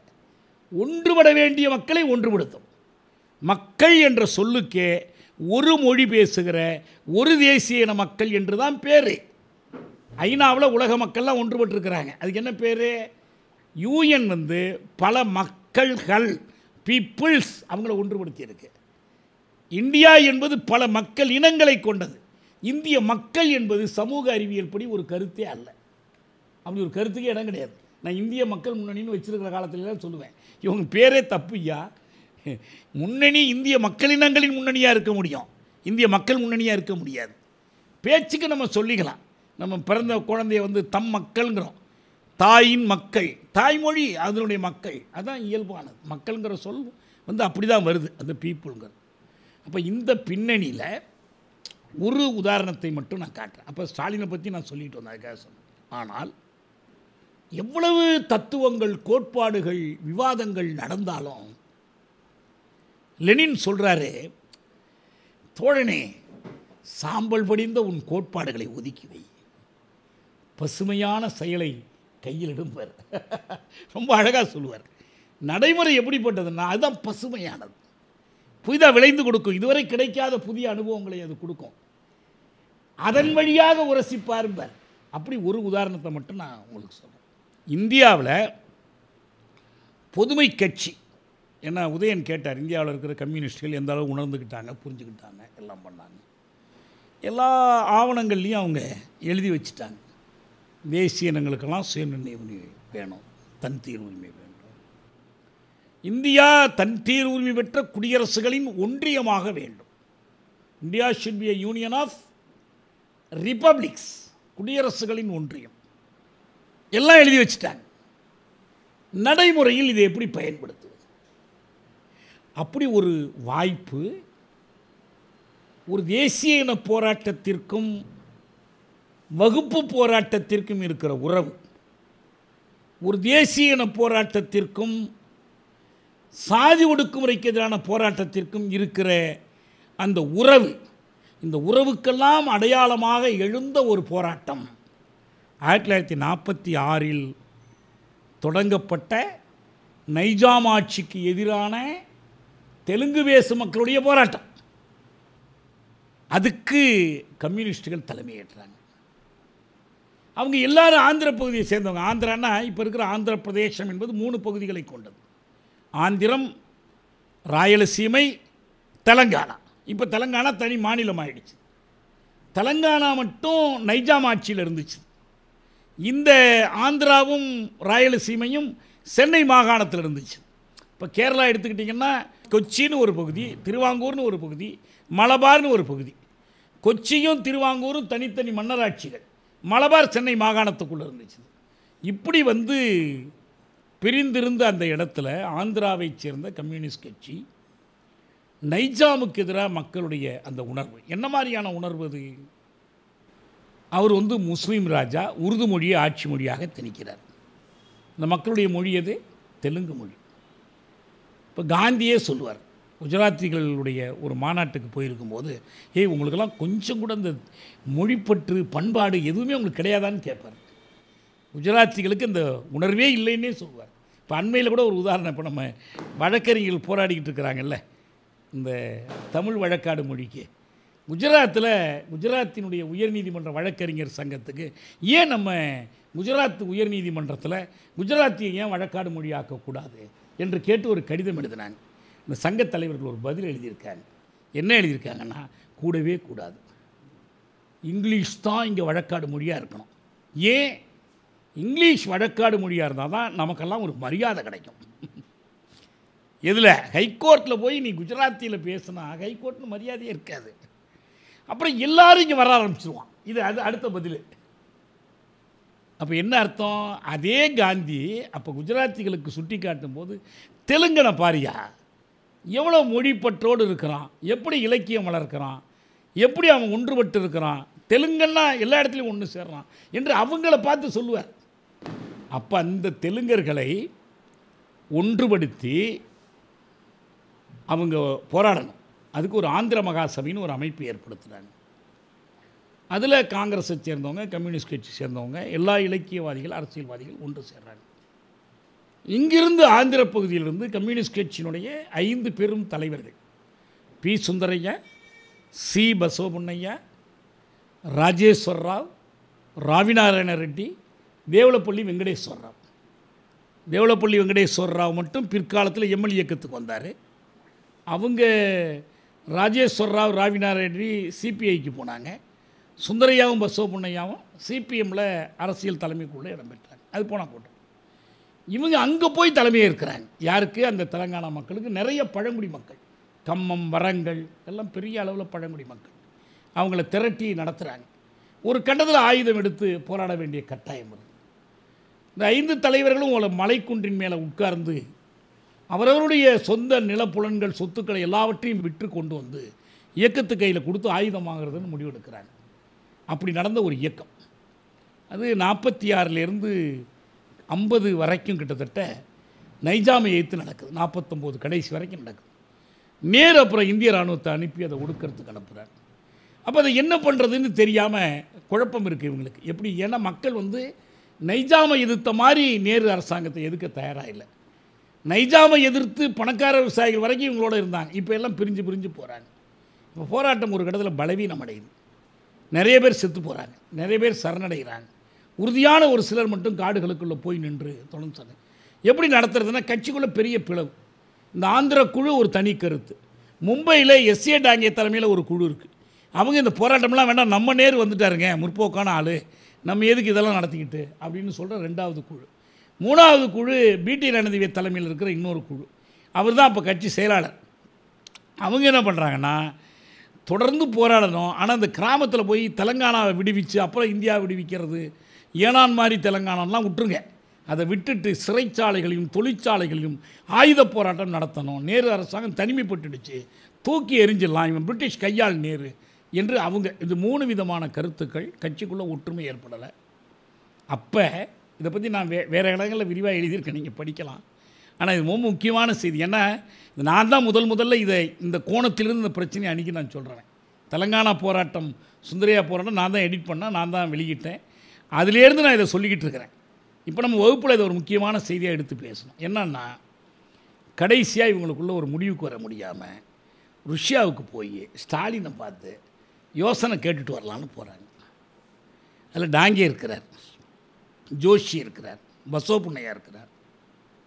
இன்னொருத்தர் இருக்கிறார் எனக்கு கரெக்டாக தெரியல. பிடி ரணதிவே இல்லை சுந்தரியெல்லாம் இல்லை. இவங்க அரசாங்கத்துக்கோ மற்றதுக்கோ தெரிந்து போனால் ஏதோ ருஷ்யாக்காரன் இங்கே இருக்கிற கம்யூனிஸ்ட்டுகள்லாம் சொல்லி ஏவி விடுறான்னு ஒரு பிரச்சனை வரக்கூடாது இல்லை. ஒரு சிலர் தலைமுறை வேறு. எனவே ஒரு துறைமுக தொழிலாளி மாதிரி வேஷம் போட்டுக்கிட்டு ஒரு கப்பலில் ரகசியமாக ஏறி போயிடுறாங்க. அங்கே போன பிறகு இவங்களை உட்கார வச்சுட்டு தகவல் சொல்கிறாங்க நாங்கள் எங்கள் கட்சியிலேருந்து ஒரு கமிஷன் போட்டிருக்கிறோம். உங்கள்கிட்ட விசாரித்து நாங்கள் உங்களுக்கு வழிகாட்டுறோம். சரி இன்றைக்கி வந்துருங்க இந்த அறைக்கு இன்னும் கமிஷன் கூடுது. பார்த்தா முதல்ல ஸ்டாலினே வர்றாரு நேராக வர்றார். இவங்களோட உட்காந்து பேசுகிறார் இப்போ ஒரு கடைசியாக அவங்க ஒரு முடிவு எடுக்கிறாங்க. என்னென்னா அந்த போராட்டத்தை தொடர்ந்து இப்படியே நடத்த முடியாது. நீங்கள் விடுதலைக்கான போராட்டம் தான் ஆயுத போராட்டமாக இருக்கணும்னு அவசியம் இல்லை. கோரிக்கைகளுக்கான போராட்டம் கூட ஆயுத போராட்டமாக இருக்கலாம். இப்போ அடைந்த நிலங்களை கைப்பற்றி இருக்கிறீங்க கூலி உயர்வு பெற்றிருக்கிறீங்க பல சலுகைகள் வாங்கியிருக்கிறீங்க. இதுக்கெல்லாம் ஒரு உடன்பாடு ஏற்படுத்தி கொண்டு போராட்டத்தை முடிவு கொண்டு வந்துடணும்.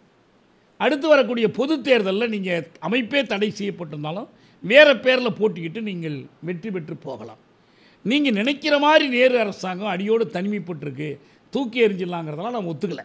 அவங்க இன்னமும் எங்க எனக்கு கிடைச்ச செய்திகள் படி அவங்களுக்கு மக்கள் செல்வாக்கோடு தான் இருக்கிறாங்க. இதெல்லாம் அவர் அறிவுரையெல்லாம் சொல்லி ஆனால் நான் எவ்வளோ சொன்னாலும் நீங்கள் உங்கள் ஊருக்கு போய் கலந்து பேசி இறுதி முடிவு எடுங்கள் அப்படின்னு சொல்கிறார் இந்த டிரான்ஸ்கிரிப்டே இன்றைக்கி வந்துடுச்சு எது? ஸ்டாலின் சொன்னது டாங்கே பதில் சொன்னது இவங்களுக்குள்ள நடந்த உரையாடல் இதையெல்லாம் வந்து இது அப்படியே பதிவாகியே வந்துடுச்சு முதலெல்லாம் ஒரு கேள்விப்படுகிற செய்திகளாக வந்துச்சு. ஆளுக்கால் கண்டபடி சொல்கிறாங்கன்னு சுந்தரையா அவருடைய புத்தகத்தில் இந்த செய்திகளை சுருக்கி கொடுத்தார். ஆனால் இப்போ வந்து பல பேர் இந்த டிரான்ஸ்கிரிப்ட் வெளியிட்டுட்டாங்க. மறுக்க முடியாதபடி வந்துட்டாங்க. இல்லை நான் சொல்கிற ஒரு விமர்சனத்தை மட்டும் நான் சொல்கிறேன் என்னென்னா அந்த போராட்டம் தெலங்கானா ஆயுத போராட்டம் இவ்வளோ பெரிய வீச்சை அடைவதற்கு அது வெறும் விவசாய தொழிலாளி போராட்டம் தொழிலாளி போராட்டம் என்று இல்லாமல் அல்லது ஒடுக்குண்ட ஜாதிகளின் போராட்டம் பழங்குடிகளின் போராட்டம் என்று இல்லாமல் எல்லா தரப்பட்ட தெலுங்கு மக்களையும் ஒன்றுபடுத்தி நடத்தியமைக்கு முக்கியமான பொறுப்பு அதில் தரப்பட்ட முழக்கம் மைய முழக்கம். இந்த முழக்கம் என்ன சொல்லுது? விசாலாந்திரத்தில் மக்கள் ராஜ்யம். அதாவது ஆந்திரம் இப்படி துண்டு துண்டாக இருக்கக்கூடாது ஒன்றா சேரணும். இந்த விசாலாந்திரத்துக்காக தான் பொட்டி ஸ்ரீராமலும் சென்னையில் உண்ணாவிரதம் இருந்து உயிர் விட்டார். ஐம்பத்தி மூணில் இந்தியாவில் வேறு மொழிவழி மாநிலங்கள் அமைக்கப்படுவதற்கெல்லாம் முன்பு ஆந்திரத்தில் மட்டும் முதல் மொழிவழி மாநிலம் அமைக்கப்படுவதற்கு பொட்டி ஸ்ரீராமனுடைய உண்ணாவிரதமும் கம்யூனிஸ்டுடைய இந்த ஆயுத போராட்டம் தான் காரணம். ஆனால் இவங்க திரும்பி வர்றதுக்குள்ளேயே கிட்டத்தட்ட போராட்டம் முடிவுக்கு வந்துடுது இப்போ அரசு ஏற்கனவே சில உறுதிமொழிகள் கொடுத்துருக்குறாங்க.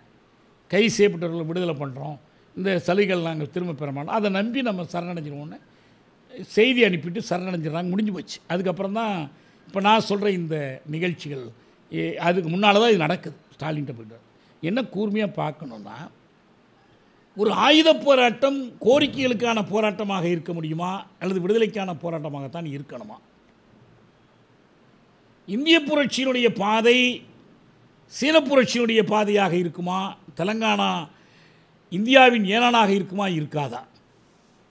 அல்லது ருஷிய புரட்சியைப் போல் நகரப்புறங்களில் தொடங்கி கிராமப்புறங்களுக்கு பரவக்கூடிய புரட்சியாக இருக்குமா? இது எல்லாம் இந்த உரையாடல் அடிப்படையில் முடிவு பண்ணி ஐம்பத்தி ஒன்றில் கொள்கை அறிக்கைன்னு ஒரு தீர்மானமே வெளியிடுறாங்க. நம்ம அதை வச்சு நம்ம தனியை செல்வன் நிறைய எழுதியிருக்கிறாரு அந்த அறிக்கையை வெளியிட்டிருக்கார். ஆனால் இவங்களும் ஸ்டாலினிடம் இந்த போராட்டத்தினுடைய மைய முழக்கம் விசாலாந்திரத்தில் மக்கள் ராஜ்யம். விசாலாந்திரம் அமைஞ்சாச்சு. ராயலசீமை ஆந்திரம் தெலுங்கானா இணைச்சாச்சு. ஆனால் மக்கள் ராஜ்யம் என்னாச்சு? விசாலாந்திரத்தில் நேரு ராஜ்யம்ல இது. விசாலாந்திரத்தில் காங்கிரஸ் ராஜ்யம். எப்படி மக்கள் ராஜ்யம் ஆகும்? அப்போ இந்த போராட்டத்தை மக்கள் ராஜ்ய திசையில் தொடரணும்னு அர்த்தம். தொடர்னா என்ன வரும்? தொடர்ந்தால் என்ன வரும்? ஆந்திரத்தின் விடுதலைக்காக போராட வேண்டி வரும். நீங்கள் ஆயுதம் எடுக்கிறீங்களோ ஆயுதம் எடுக்கலையோ உங்கள் போராட்டம் எங்கே கொண்டு போய் விடணும் அவங்கள ஆந்திர விடுதலைக்காக போராடணும். வேறு எப்படி நீங்கள் அந்த அடைவீங்க? இப்போ நம்ம இந்தியாவில் ஒவ்வொரு பிரச்சனையாக பார்க்குறோமே நீட்டு பார்க்குறோம் சிறுபான்மையினர் இடஒதுக்கீடு பார்க்குறோம் எல்லாமே ஒரு முட்டுச்சந்தில் போய் நிற்கிது தாண்டி போகவே முடியாது. இடஒதுக்கீட்டுக்காக நூற்றி மூணாவது சட்ட திருத்தம் கொண்டு வந்தான். நூற்றி மூணாவது சட்ட திருத்தத்துக்கு பதில் நீங்கள் வேற ஒரு சட்ட திருத்தம் கொண்டு வர போகிறீங்களா பார்லிமெண்ட்டில் தமிழ்நாடு மட்டும்தானே எதுக்குது? எப்படி கொண்டு வர போகிறீங்க நீங்கள் முட்டி பார்த்தீங்கன்னா என்ன தெரியும்? அந்த சட்டத்தை நாங்கள் எங்களுக்கு ஏற்றிக்கொள்கிற உரிமை வேணும்னு போராட வேண்டி வரும். அது எதுக்கான போராட்டம்? தமிழ்நாட்டின் இறைமைக்கான போராட்டம். சுயாட்சிக்கான போராட்டம். எதுக்கும் ஒத்துவலைன்னா விடுதலைக்கான போராட்டம். அது என்ன கெட்ட வார்த்தையா விடுதலைங்கிறது? இந்திய விடுதலை நல்ல வார்த்தை தமிழ்நாடு விடுதலை கெட்ட வார்த்தையா? பாலத்தீன விடுதலை நல்ல வார்த்தை காஷ்மீர் விடுதலை கெட்ட வார்த்தையா? அதானே வரும் உங்களுக்கு. இப்போ என்ன கேள்வினா இந்த விவாதத்தில் முக்கியமானது என்னென்னா இந்த விசாலாந்திரத்தில் மக்கள் ராஜ்யம் முழக்கம் என்னாயிற்று என்று ஸ்டாலின் இவர்களிடம் கேட்கவில்லை. இந்தியாவில் தேசிய இனங்கள் மலர்ந்து வருகின்றன விழித்தெழுந்து வருகின்றன பன்னெண்டில் எழுதுகிறாரு இந்தியா பல தேசங்களை கொண்ட ஒரு நாடுங்கிறது அவருக்கு மிக நன்றாக தெரியும். ஏன்னா கட்சியே உலகெங்கு இருக்கிற கட்சிகள் ஆயிரத்தி தொள்ளாயிரத்தி இது அப்போ ஸ்டாலின் செஞ்சது. அதுக்கு என்ன பின்னணின்னு நான் சொல்கிறேன் ஆயிரத்தி தொள்ளாயிரத்தி ஐம்பத்தி ஏழில் ஆளும் கட்சிகள் கூடி ஒரு டிக்ளரேஷன் வெளியிட்டாங்க. அறுபதில் எல்லா கட்சிகளும் இந்திய கட்சி சீன கட்சி எல்லாரும் உட்பட ஒரு அறிக்கை வெளியிட்டாங்க. இதுக்கு பேர் பிரகடனம் இது அறிக்கை. இந்த ரெண்டுலேயுமே அவங்க ஒன்று சொல்லிட்டாங்க. என்ன சொல்லிட்டாங்கன்னா உலகம் ஒரு புதிய காலத்திற்குள் நுழைந்து விட்டது இட்ஸ் எ நியூ எப்போக் இந்த புதிய காலத்தில் தேசிய இன பிரச்சனை என்பது பின்னுக்கு போய்விட்டது. இனிமேல் ஒன்றே ஒன்று தான் முதலாளித்துவமாக சோஷலிசமாக சோஷலிச நாடுகள் வலுப்பெற்று சோஷியலிச முகாம் வலுப்பெற்று திகழ்வதால் நாம் சோஷலிசத்தை நோக்கி அமைதியாகவே முன்னேறி போயிடலாம். இந்த கட்டம் அடைந்து விட்டோம் என்று ருஷ்யா சொன்னுச்சு. அடைவதை நோக்கி முன்னேறி கொண்டிருக்கிறோன்னு சீனா சொன்னுச்சு. இதுதான் மாபெரும் விவாதமே. ரெண்டாக பிரிந்தது. இப்போ இந்த இதெல்லாம் என்னாச்சு? ஈழ விடுதலை ஏன் ஆதரிக்க மாட்டேங்குது கியூபா? ஏன் காஷ்மீர் விடுதலையை இந்திய கம்யூனிஸ்டுகளால் அதை ஏற்றுக்கொள்ள முடியல? ஏன் தமிழக விடுதலைங்கிற சிந்தனைக்கே இடமில்லாமல் இருக்குது எல்லாம் காரணம் என்னென்னா அவங்க எல்லாத்தையுமே ஒரேடியாக மூடிட்டாங்க முறைச்சிட்டாங்க. தெலங்கானா அனுபவம் உங்களை எங்கே கொண்டு போய் விட்டுருக்கணும்னா சரியாக அதை கையாண்டிருந்தீங்கன்னா எங்கே கொண்டு போய் விட்டுருக்கணும்? பதினெட்டு எம்பி தொகுதியில் வெ- ஜெயிக்கிறதுக்கு தான் அது வழிவகுத்துச்சு வேறு ஒன்றுக்கும் வைக்கலை. கம்யூனிஸ்ட் கட்சி அன்றைக்கி எதிர்கட்சியாக போய் உட்காடுறாங்க பதினெட்டு எம்பி தொகுதி எங்கே ஜெயிக்கிறாங்க? அந்த தெலங்கானா பகுதிக்குள்ளே இருக்கிற எல்லா தொகுதியும் அவங்க தான் வெற்றி பெறுறாங்க. அந்த தேர்தல் செல்வாக்கை தேடி கொடுத்ததை தவிர இன்றைக்கி பரிதாபம் என்னன்னா அதே தெலங்கானாவில் ஒருத்தன் பாரத ராஷ்டிர சமிதிங்கிறான் ஒருத்தன் இந்த இன்னொரு இஸ்லாமிய இயக்கங்கிறான் இவன் காங்கிரஸ் நான் வந்துட்டேங்கிறான் பிஜேபி எங்களுக்கு தாமரை மலரப்போகுதுங்கிறான் கம்யூனிஸ்ட் கட்சி எங்கன்னே தெரியலைங்க. ஏன்? இந்த வழியிலேருந்து நீங்கள் நழுவி போனது தான் அப்போ நவம்பர் புரட்சியினுடைய படிப்பினைகளை காலத்துக்கேற்ப செழுமைப்படுத்தி காலத்துக்கேற்ப ஆழப்படுத்தி காலத்துக்கேற்ப புதுமைப்படுத்தி கையாள்வதில் ஏற்பட்ட தோல்விதான். நான் இன்னும் ஒவ்வொரு நாடாக நான் சொல்லுவேன். கேரளாவில் என்ன நடந்துச்சு? ஒவ்வொரு இடமா நம்ம எடுத்துகிட்டு போகலாம் மகாராஷ்டிரத்தில் என்ன நடந்துச்சு? ஒவ்வொன்றா எடுத்துக்கிட்டு போகலாம் அந்த ஆவணங்களே இன்றைக்கி மறைக்கிறாங்க. இந்திய பெருமுதலாளிகளை குஜராத்தி மார்வாரி முதலாளித்துவம் என்று எழுதிய கட்சி கம்யூனிஸ்ட் கட்சி தான். எனக்கே இதெல்லாம் எப்போ நான் பார்க்குறேன்னா தேசிய இன பிரச்சனை பற்றி காலம்பூரா போராடிக்கிட்டு இருக்கோம். என்னென்னு தெரிஞ்சுக்க பார்க்குறோம். பேராசி மருதமுத்தருடைய புத்தகத்தில் ஒரே ஒரு ஒரு போகிற போக்கில் எழுதிட்டு போனார். தேசிய இன போராட்டங்களின் வலிமையை இந்திய கம்யூனிஸ்டுகள் உணரத் தவறிவிட்டார்கள் என்று இந்தியவியலாளர் டயக்கோ சொல்கிறார்னு எழுதினார். ஏஎம் டயக்கோ சொல்கிறார். இது தவிர ஒன்றுமே இல்லை. நான் விடலை. இது எங்கே சொல்கிறார் சொல்லுங்கண்ணே அதெல்லாம் தெரியாது. நான் எங்கேயோ கூகுளில் பார்த்து எழுதிட்டேன்னார். நான் விடலை. இந்த டயக்கோ பற்றி செய்திகளை பூரா திரட்டினேன் இன்றைக்கி கூட கையில் வச்சுருக்கேன் ஒரு அமெரிக்க எழுத்தாளர் ஒருத்தன் அந்த காலத்தில் இந்தியாவை உழை உடைப்பதற்கு ருஷ்யா முயற்சி செய்கிறதுன்னு சொல்லி ஒரு குற்றச்சாட்டை சொல்லி அதுக்கு ஆதரவாக டயக்கோவினுடைய கட்டுரையில் எடுத்து அவன் போடுறான். இப்போ என் கையில் இருக்குது அதை எடுத்துட்டேன். அந்த டயக்கோ எழுதுகிறார் இந்தியாவிலும் பாகிஸ்தானிலும் தேசிய இன அதில் பூரா சான்றுகள் கொடுக்குறார். எப்படி வந்து குஜராத்தி முதலாளித்துவம்னு இதை சொல்கிறதுக்கு என்ன காரணம்? மார்வாரி முதலியம்னு சொல்கிறதுக்கு என்ன காரணம்? கம்யூனிஸ்ட்டுகள் எப்படி அன்னைக்கு இதையெல்லாம் சொன்னாங்க? எப்படி போராடினாங்க? பிற்காலத்தில் அதை அப்படியே மறைச்சிட்டாங்க. மும்பை குஜராத்துக்கா மகாராஷ்டிரத்துக்கான ஒரு போராட்டம் நடக்குது. இஎம்எஸ் கட்சியுடைய செயலாளர் குஜராத்தி முதலாளிகள் தங்களுடைய நலனுக்காக அவர்கள் மும்பையை விட மாட்டேங்கிறாங்க நீ ஒன்று ரெண்டுக்கும் தலை தலைநகரமாக வை இல்லை பொதுவான தலைநகரமாக வை ஆனால் நாங்கள் மராட்டியத்துக்கு கொடுக்க மாட்டோங்கிறோம் மொராஜிய சேலம் போகிறாங்க இப்போ. அப்போ சொல்லும்போது இஎம்எஸ் வந்து இந்த மக் மக்களிடம் இருக்கக்கூடிய இந்த குஜராத்தி இனவெறி மனநிலைன்னு எழுதுகிறார் பிற்காலத்தில் அதே ஆவணத்தை திருத்தி வெளியிடுறாங்க. நிறையா அப்படி சான்று சொல்லலாம். நான் அந்த புத்தகங்கள்லாம் கூட தேடிட்டு தான் இருக்கிறேன். அதனால் இதான் நம்ம சுருக்கமாக சொல்லணும். நவம்பர் புரட்சியினுடைய படிப்பினைகளில் நமக்கு பொருத்தப்பாடுள்ள பல படிப்பினைகள் இருக்கு. நம்ம ஒவ்வொன்றை பற்றியும் மணிக்கணக்காக நம்ம பேசலாம். அதில் மிக முக்கியமான ஒரு படிப்பினை தேசிய விடுதலைக்கு அது வழிகாட்டியது அந்த தேசிய விடுதலை என்பது ஒரு தேசிய இனம் என்ற அடிப்படையிலான விடுதலை. தொழிலாளி வர்க்க விடுதலைக்கும் சமூக விடுதலைக்கும் அதுதான் வழிகாட்டும். அதை உதறிவிட்டால் எல்லா போராட்டங்களும் ஊனமுற்ற போராட்டங்களாக நிற்கும். ஏன் இடஒதுக்கீட்டுக்கான போராட்டம் ஊனமுற்று நிற்கிது? தேசிய உரிமையோடு அதை இணைக்கலை. எனக்கே என்னுடைய விளைவு தானே?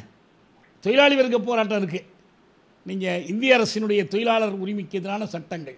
சட்டங்கள் உங்களால் மாற்ற முடியல. அடுத்து என்ன பண்ண போகிறீங்க இந்த சட்டங்களை நீங்கள் பார்லிமெண்ட்டில் இயற்றிக்கிற எங்கள் ஊருக்கு வேண்டிய சட்டத்தை நாங்கள் வச்சுக்கிறோம்.